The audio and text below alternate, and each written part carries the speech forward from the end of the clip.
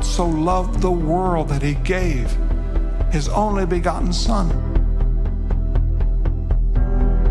I want every child to know that there's a God. I want every child to know that God loves them, that God sent his Son from heaven to this earth to take our sins. We've got a charge to go into the world to make disciples of all nations, to baptize in the name of the Father, the Son, the Holy Spirit. God, here I am. Take me and send me and use me.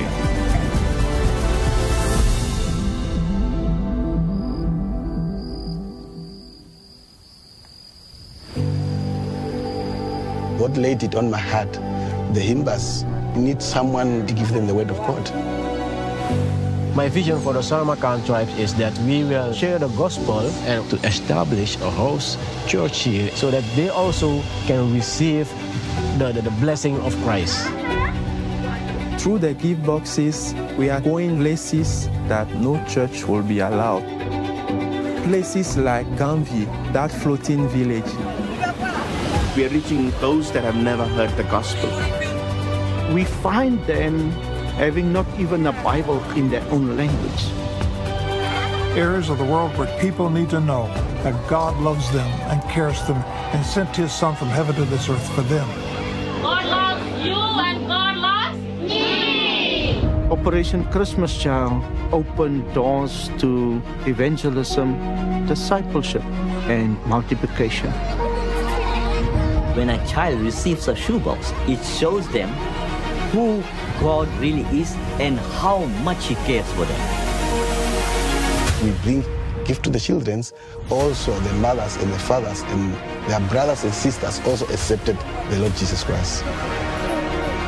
Churches are using these shoeboxes, the Greatest Journey Discipleship Program, to reach out to the ends of the earth with the gospel. God sent his son to this earth on a rescue mission.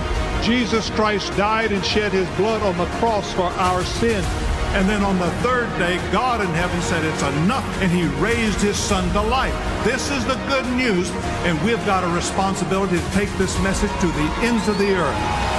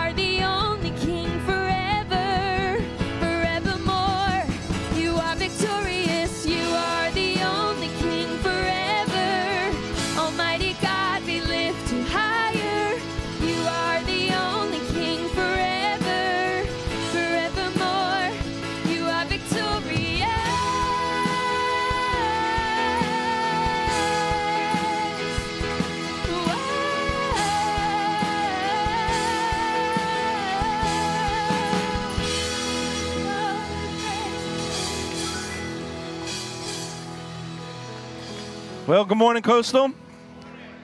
My name is Brian, and in just a moment, we're going to have an uh, opportunity to talk with you about a new sermon series entitled Bucket List. But before we do, uh, my job is to come up here and to welcome those of you who are visiting with us for the very first time. So if this is your first time here, we're so glad that you're here. And in the front of your seats, there's a uh, Connect card. We'd love for you to take a look at that and uh, give you all sorts of opportunities of how you can connect with our church. Uh, two announcements, and then we're going right back to worship. The first announcement is this coming up this coming Saturday is is our church workday.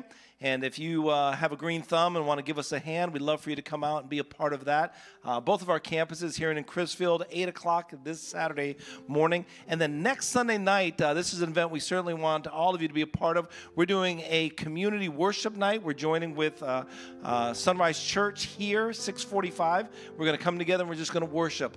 And we'd love for you to be a part of that. That's going to take place uh, next Sunday night.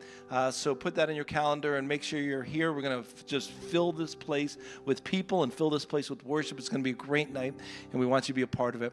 Hey, we're going to go back to the uh, uh, time of worship here. Uh, before we do, let's just take a moment. Let's just go to the Lord in prayer. Heavenly Father, this morning, we've come here to lift your name. We've come here to learn about you. We've come here to be challenged to what you would have our lives to look like. And so, Lord God, we, uh, we focus on you. We put everything else aside all the distractions, all the stress, the anxiety, the difficulties, the things we have to do later today and later this week. And we say, This is your time, and this is our time to be with you as a family. So we pray, God, that we would focus on you and you would be glorified. In Christ's name, amen. Come on, church, let's give God our very best in worship this morning.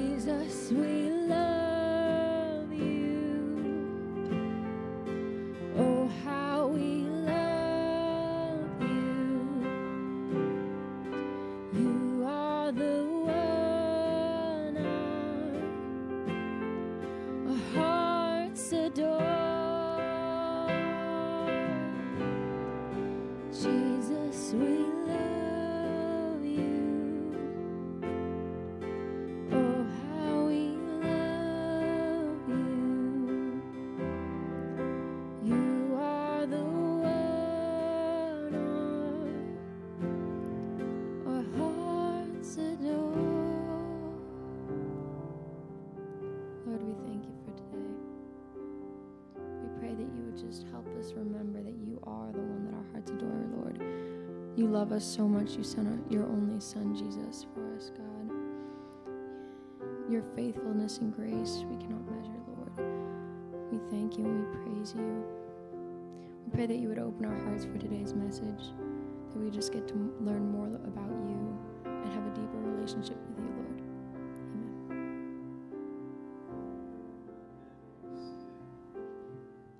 Jump right in the message in just a moment. Uh, two things, real quickly. First, just want to thank all of you who were part of our Ministry Fest last week. Uh, you should have received uh, some kind of connection or contact from someone. If not, it should be coming this week. If you don't hear back from someone, reach out to us and we'll make sure we close that loop. Number two, uh, coming up here in just a couple of weeks, hard to believe, Thanksgiving, Christmas. I know it was 80 degrees yesterday, but it is coming still. And uh, we want to do our very best as a church to care for those in our congregation, those in our community who may have a difficult time during the holidays. So if you have a need or if you know someone who has a financial need and it's going to be difficult to provide Thanksgiving or it's going to be difficult to provide uh, gifts for children at Christmas.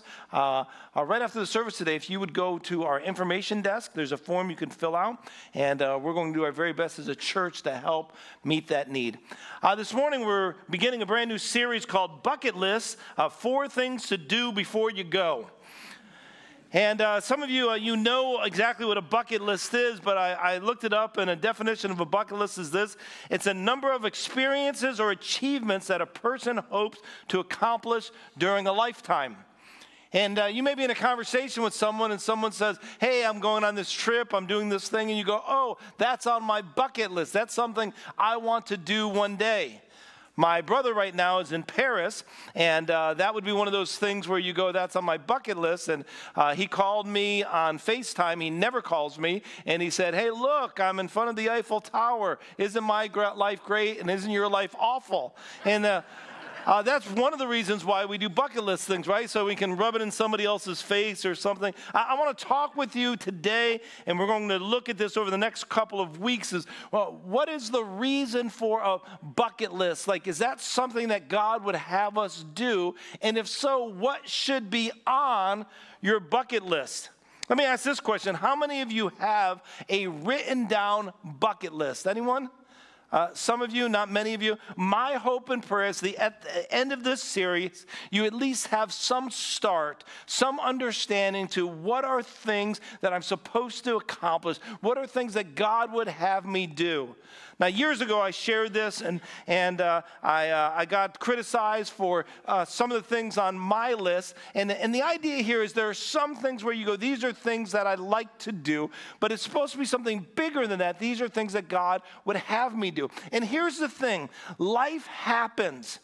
If we don't have a game plan, if we don't have a God inspired vision of what we're supposed to do with the breath that God has given us, one day we're going to wake up and we're going to go, we have lived our life and all the things that we wanted to do, we never did. I love this. I read a book a couple of years ago by Mark Batterson, and he talks about a teenager by the name of John Goddard. And John Goddard in 1940, on a rainy day, at 14 years old, sat down and said, These are the things that I want to do in my life. He wrote down 127 life goals at age 14.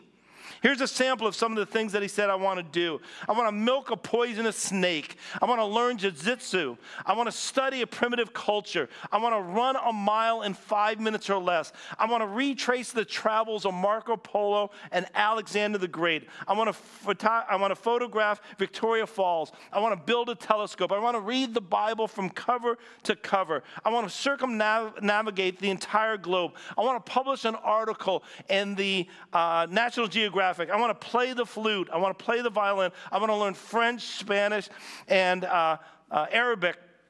And his list just went on and on. Here's, here's some of my favorite ones. This one is the one that blows me away. He says, I want to visit the moon. 1940, years before Sputnik even escaped the Earth atmosphere. He was thinking and dreaming big. I didn't even know you can milk a poisonous snake. I don't even know what that means. For the record, John Goddard didn't accomplish every one of, of his goals. But by the time he turned 50 years old, he had accomplished, catch this, 108 of those 127 goals. Man, I read this and I said, I want to write down some things. I want to I want to try to accomplish some things. So that's what I did. I sat there one day and I started writing them down. I started, these are things I want to accomplish before age 70. I shared them with my family. I shared them with my, my, my son and daughter. I said, What do you think? Is there anything we should add to this list? And my son said, uh, he was really little at the time, he said, I-, I want you to take me to SeaWorld one day. And I said, It's on the list. Where'd that come from? I have no idea. He said, I want to go to SeaWorld. Said, All right, cool. My daughter said, I want to jump out of an airplane with you, Dad. I said, It's on the list. And we did both of those things. SeaWorld was easier than jumping out of an airplane. I looked at my wife, I said, anything you want to add to the list? She goes, Brian, your list is so expensive, I don't know how we'll pay for any of it. That's enough. And, and I set them in categories. Some of them were spiritual goals, some of them were church goals, some of them were physical goals, some of them were accomplishments, some of them were education goals, some of them were, were family goals, some of them were experiential goals. Uh, I, I, shared my, our list with our friend Trevor Hill this week, and I said, What do you think of my list? And he said, There's too many Yankee things on there. And a lot of my list is silly. Over the, over the last the 20 years, uh, once or twice a year, I'll look at my list, and some of those things I go, you know what, that's not even important to me anymore. And I just scratch it off. I go, I don't care about that anymore. It was important to me at the time. I don't care. There's some of the things if I shared with you, you go, that's the last thing that I want to do. One of the things on my list is, is this I, I want to go see the Dallas Cowboys play on Thanksgiving Day. I just think that would be cool. This year, Dolly, Dolly Parton is doing the halftime show. When, when will I ever get a chance to do that again? Like, I just need to go do that. Right? There's just, there, there's things in there.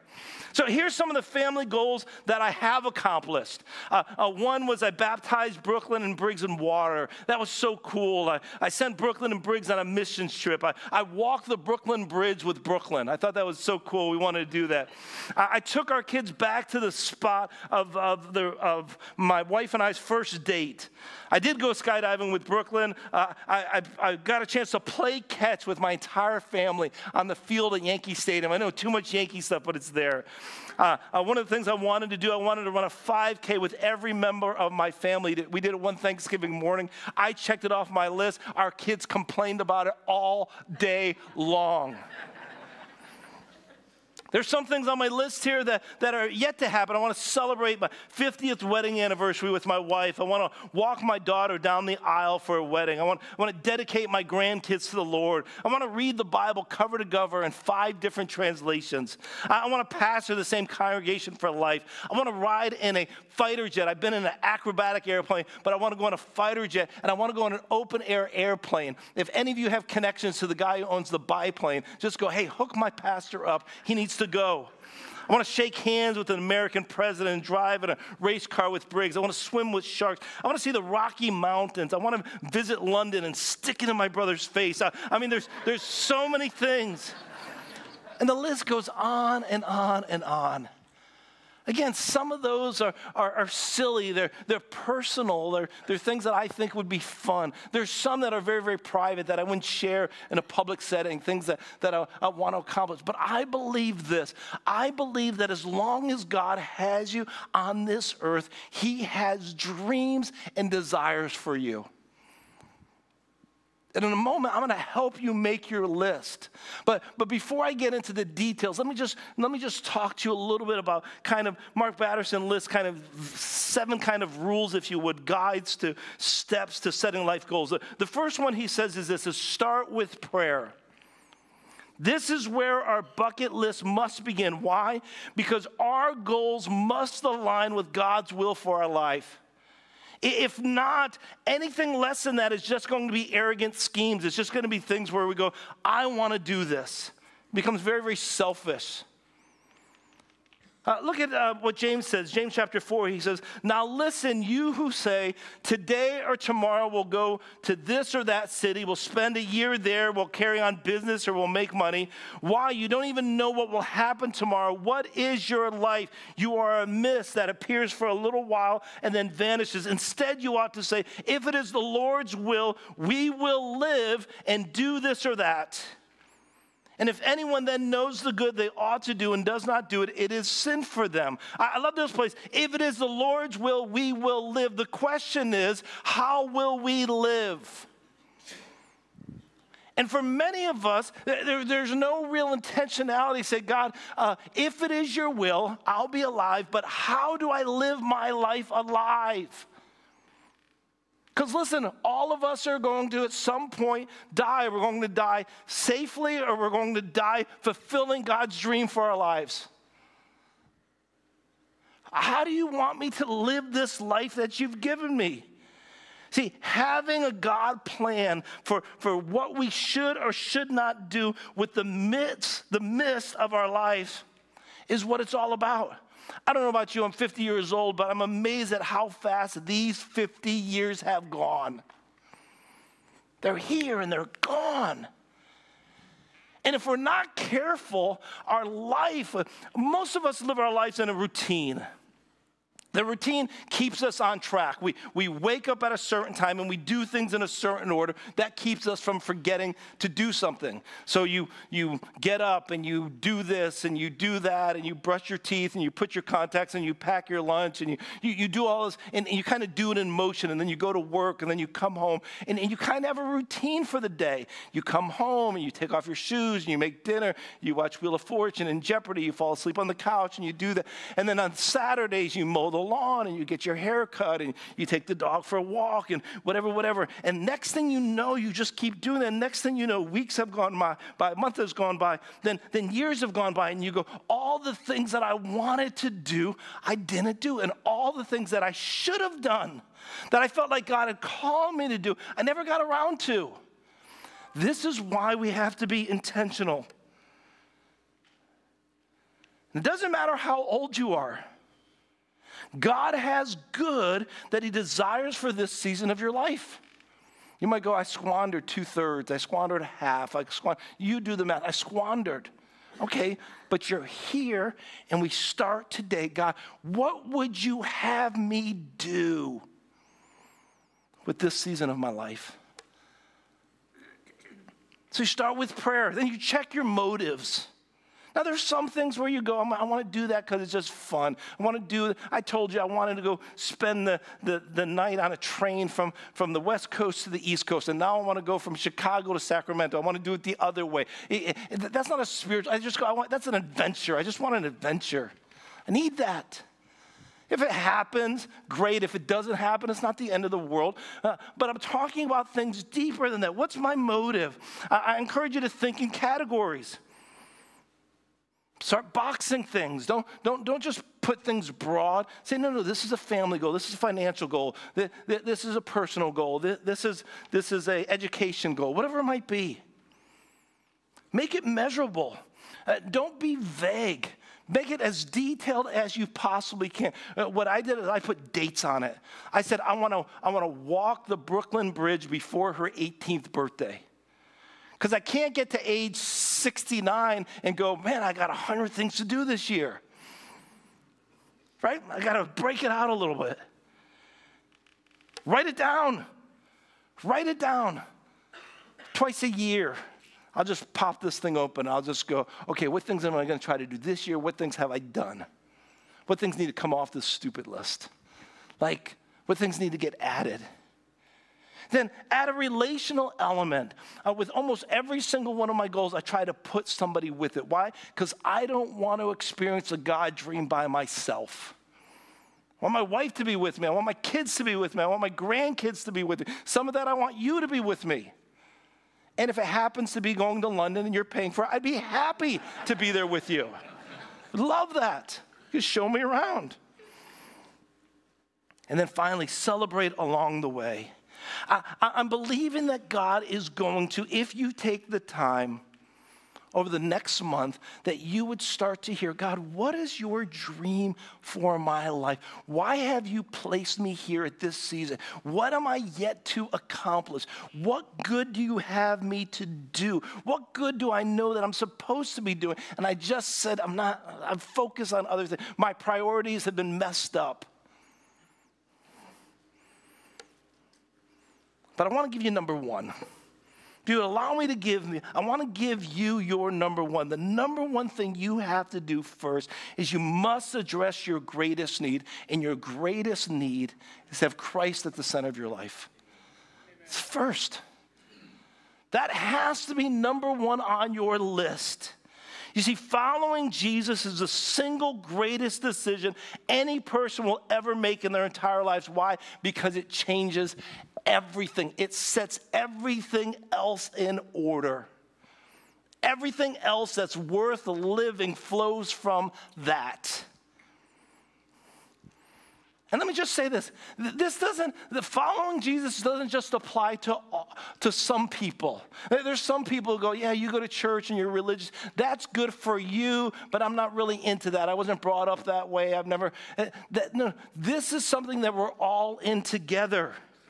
We're all in need of a Savior applies to all of us. Uh, the Bible tells us that all of us have sinned.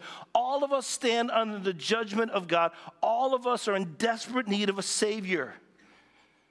All of us have sinned. We all fall short of the glory, glory of God. And you might believe that, uh, oh, maybe I'm good enough, or, or maybe the good will outweigh the bad, or if I just do enough good things, if I can perform certain religious acts, that'll counterbalance all the stupid things that I was young. But the Bible states that's not how it works. The Bible states that we're all condemned, we're in trouble. Romans says this that there's no one righteous, there's no one in right standing with God, not even one of us. And this leaves us in a bad place. Romans 6 says this says, For the wages of sin is death. There's a consequence for us falling from God's best.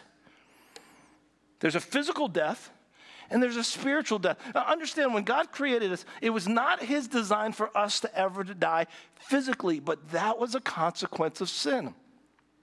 Uh, along with that, there's a consequence for not just uh, there's a consequence that's not just physical there's a consequence that is eternal it's a, there's a spiritual death your sins have consequences. When you mess up here on earth, there's a consequence for your sin. But worse, there's an eternal consequence, and it has to be addressed. That's the bad news. The good news is this that God, in His great love for us, made forgiveness and salvation possible through Christ. Not one amen, but I'm trying. Ephesians 2 says this It is by grace you have been saved through faith. It is not from yourself, it is the gift of God, not by works, so that no one can boast. You have been saved not because you were able to jump through the right hoops, or you found God, or you started going to church, or you started doing good things, or you fulfilled the Ten Commandments, or you figured out what. None of that. You are saved. Salvation is available because of what Christ has done on the cross. And we receive that through faith. That we recognize that God loves us and that Christ made forgiveness and salvation possible. How did he do it? By dying on the cross. It became, he became the complete sacrifice for our sins. And he took on our judgment, the judgment that we deserve.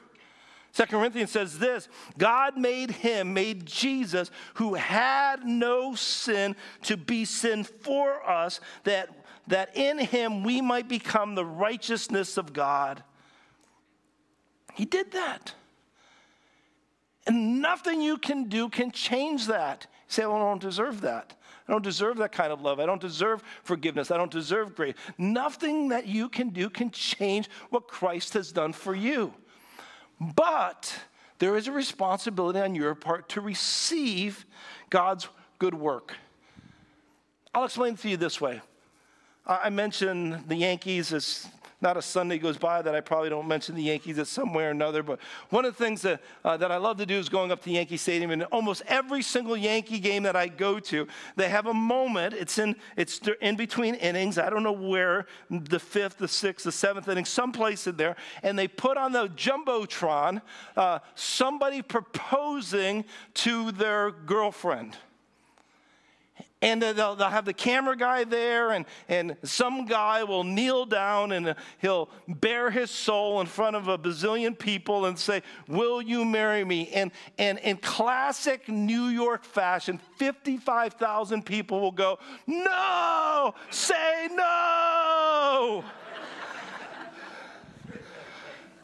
I love it. And I can't imagine, like, you know, every time I've been there, the, the girl has said yes, and she's, she's cried and hugged, and they kiss, and everyone goes, woo. But, there, but there's always that part is that, am I going to see a train wreck here? Am I going to see, like, the girl, like, what are you doing? Stand up. Don't do this. Like, oh my gosh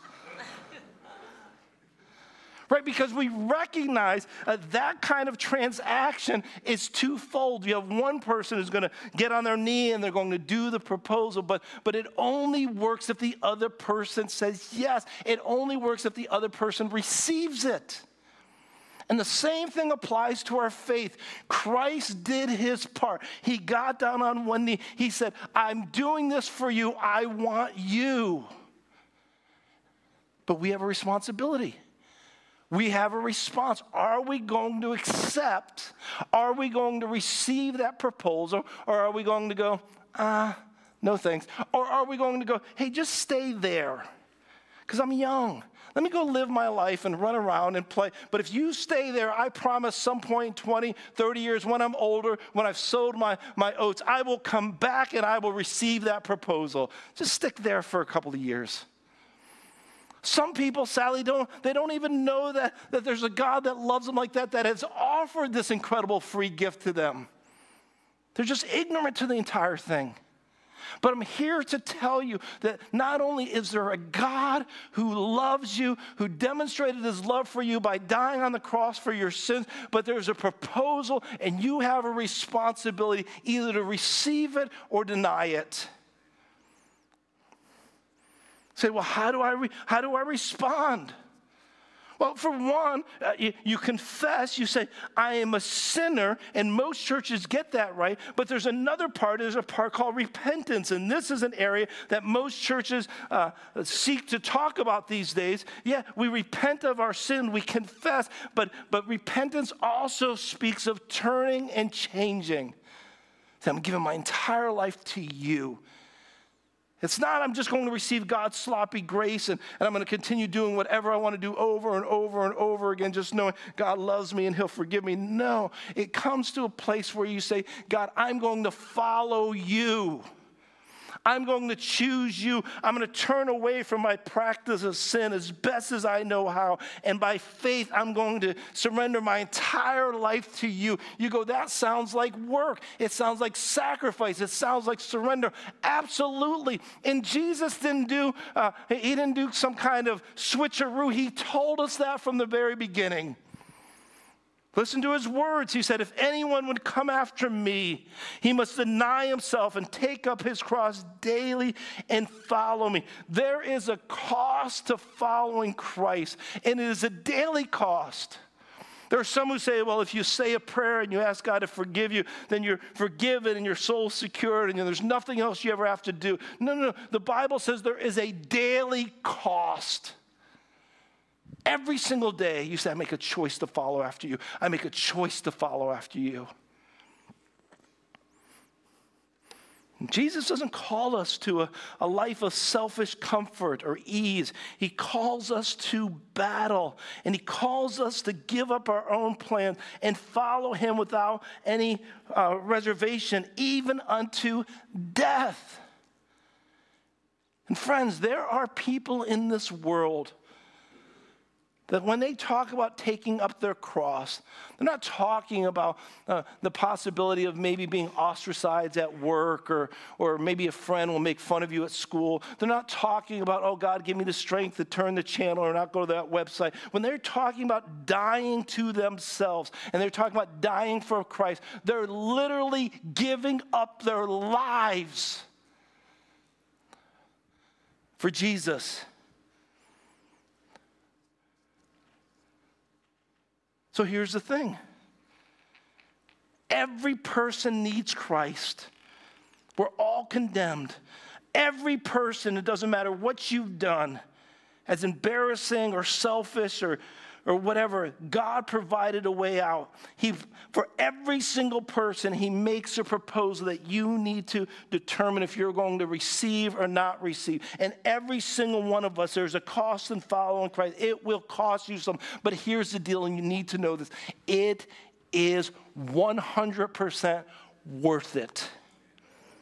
Worth it. The best decision you could ever make is to follow Jesus.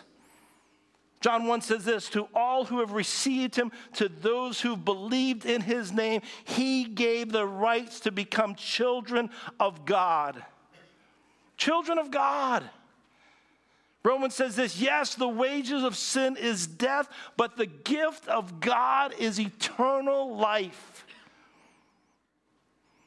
What do you get out of this deal? You get a life forgiven. You get a slate clean. You get an opportunity to not have to worry about the shame and guilt of your past. That before God, He makes you righteous, meaning He sees you as right before Him. He calls you, yes, you, son or daughter, and with that comes benefits.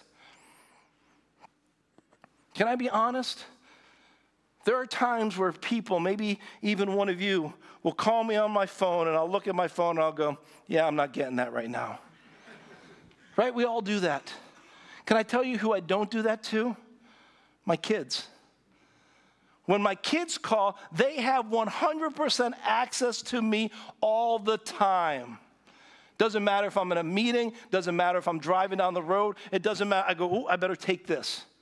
They have 100% access to me all the time. The Bible says, a son and daughter of God, that you can come into the very presence of a holy God with boldness at any time. That when you call upon the name of Jesus, He goes, I hear you. I'm here for you, son, daughter. He says, I bestow on you the privileges of sonship, that we are joint heirs with Jesus.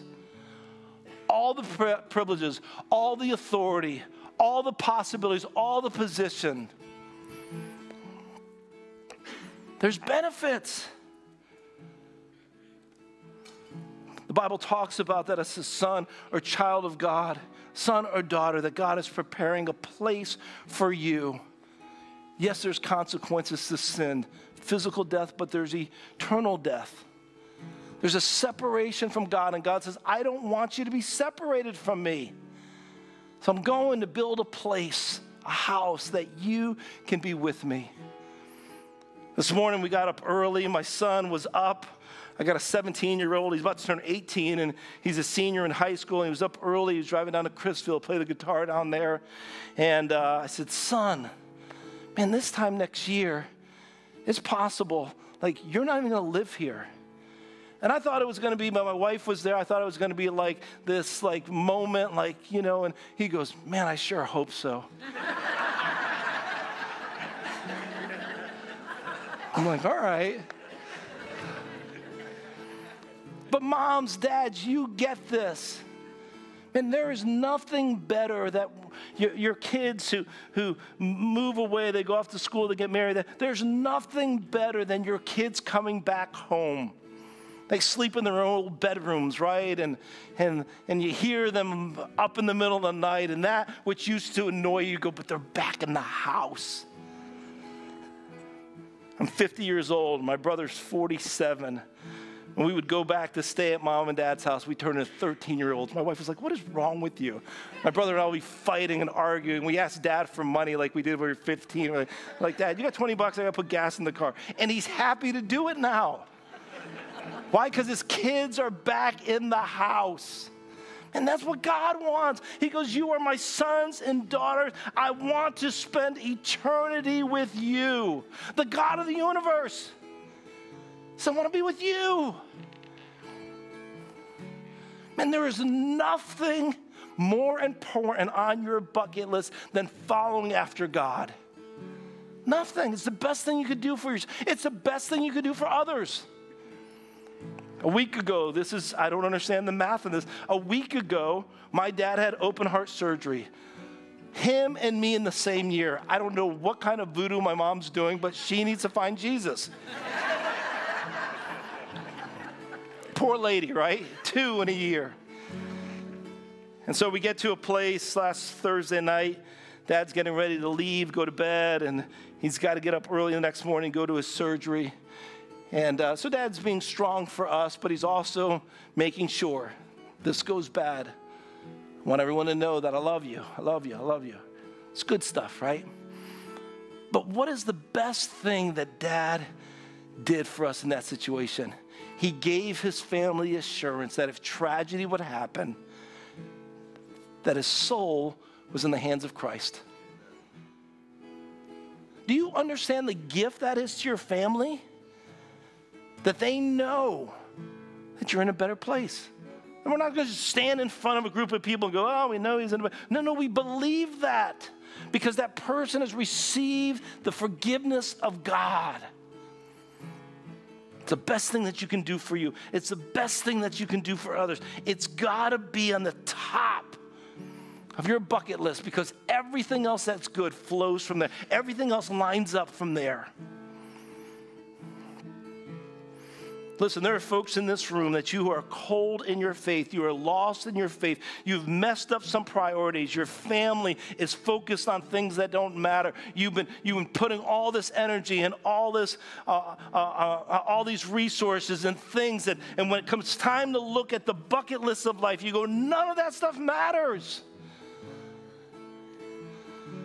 There's some of you, you look at your life and you go, what am, I, what am I doing here? If God still has breath in your lungs, He has something for you to accomplish, something good in this season of your life. You go, I squandered 50 years, I squandered. Eh, listen, you finish strong. Accomplish that what God has for you at this moment. And do something big for God. Because nothing else will matter.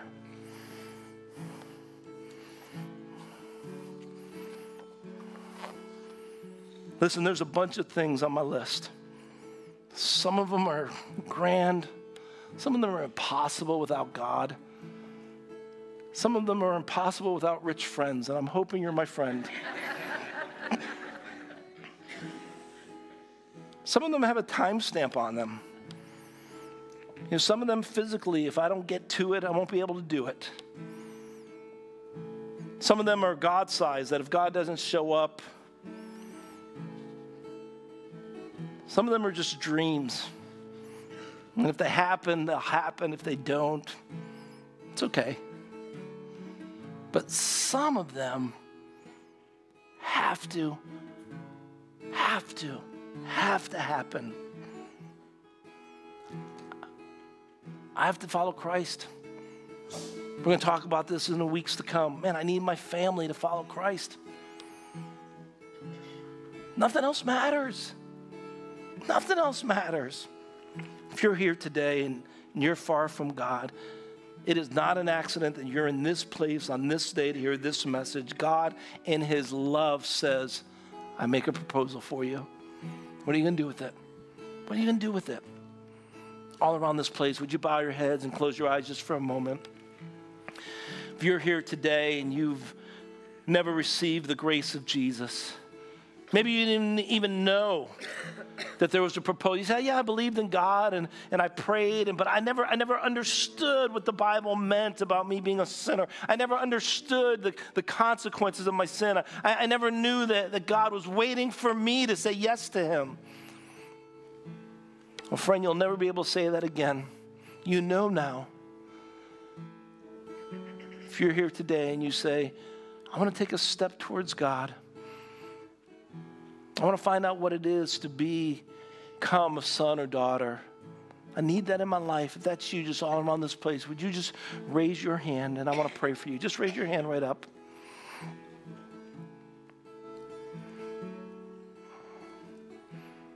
I'm going to say a prayer for you, and at the end of our service, those of you who've raised your hands, we're going to have some altar workers here. I, I, would strongly encourage you at the end of the service to take three minutes. That's all it'll take is three minutes. And just go and talk with one of these one of these individuals and just say, I, I need Jesus in my life. They're going to pray with you and they're going to give you a resource. They're going to give you a book to help you in your journey. We, we offer a, a ministry called Follow where we can mentor, put a mentor in your life to teach you what it means to follow after Christ. We, we love you to connect you with somebody in that way. So in a moment, I'm going to pray for you, and, and then I'm going to invite you at the end of the service just to find someone. Uh, there are others of you here today, you say, you know what?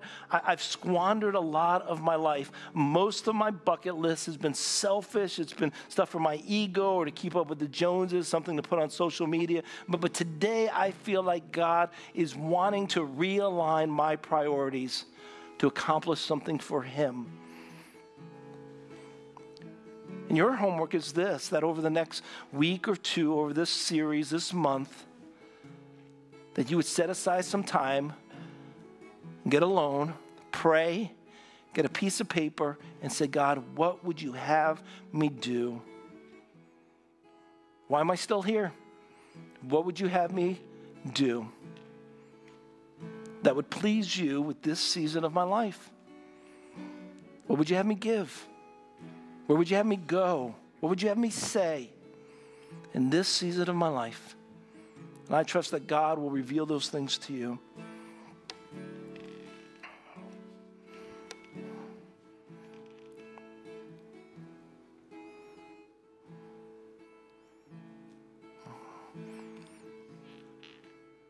We're going to take communion together.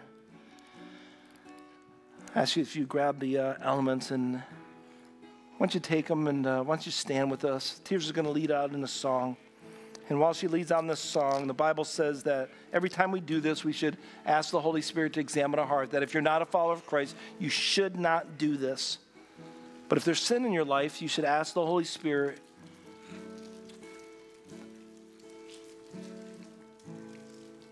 to take a look, take an assessment. Are there things in my life that aren't pleasing to you? And then surrender those things to the Lord. As tears as sings, let's, uh, let's pray together.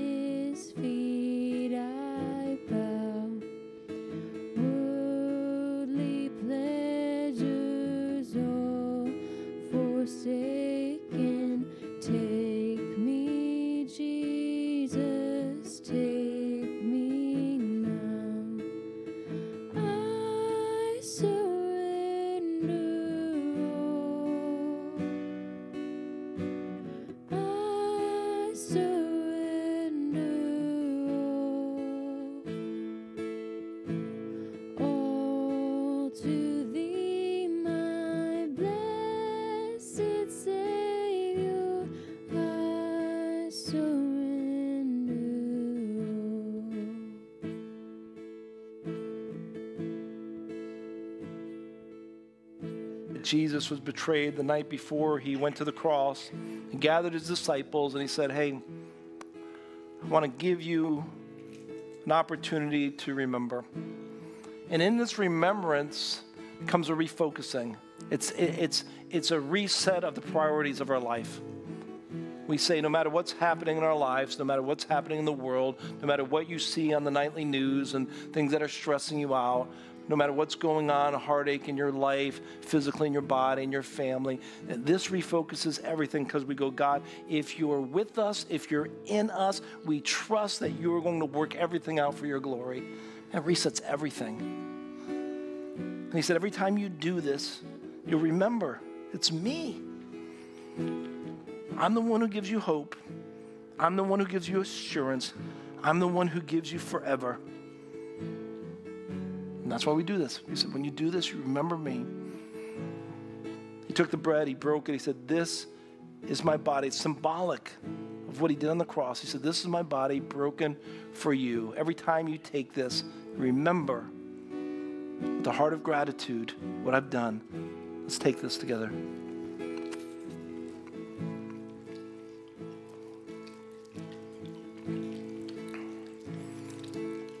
Bible tells us that then after that, Jesus took the cup. He said, This is symbolic of the New Testament, a new covenant, a new commitment. He said, This, my shed blood, will change everything. He said, I'm going to stand in your place. He who was without sin became sin for us that we would be right before God. He says, This is how it's going to happen. So we remember the number one thing on our list is following Him and what He's done for us. Let's take it but together. Thank you, Lord. I'm going to pray a prayer. As I pray, I'm going to invite our altar team if they come to the front as soon as I say amen today. If you want to come and receive prayer, if you go, you know what? Some things I need to talk to God about. I'm going to invite you to come and find a place to kneel here at the front or at your seat. Just take your time. We have time before the next service begins. Just take your time and say, God, I want to know. I want to hear your voice. I want to know what I'm supposed to do with this mist that you've given me, this season of life. Help me. Heavenly Father, today, we thank you for your great love for us. We thank you that you have a blueprint, design, a purpose for our lives, even in this season. And rather than spending our days regretting wasted days, we say, God, from this day forward, help us to accomplish your dream for our lives. In Christ's name we pray. Amen. Amen. Amen. God bless you, church.